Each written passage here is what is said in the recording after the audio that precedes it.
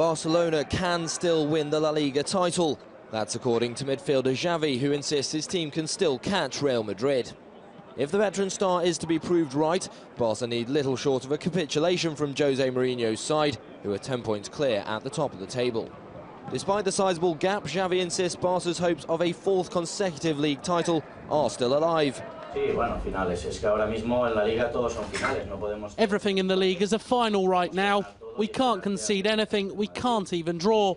We have to win everything and hope Real Madrid fail and lose some points. Atletico have improved, so it'll be a difficult match as they are strong in their defence. They pressure, they all work, and they are better in their attack. They are well off emotionally too. I imagine Diego Simeone has filled the team with motivation. One man who has been key in Barcelona's huge success in recent years is head coach Pep Guardiola.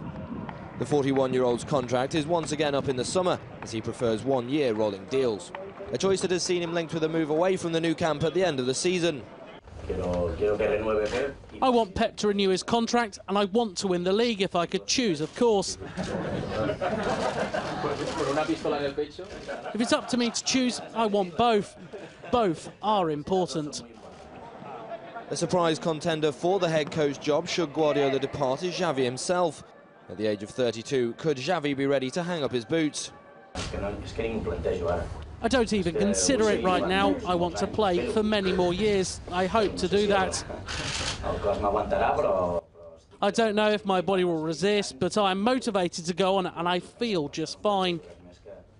I feel good physically, and that is why I only think about playing football. I don't even have a coaching licence. Barca have a tough game up next as they look to recharge their title bid. They face Atletico Madrid at the Estadio Vicente Calderon on Saturday.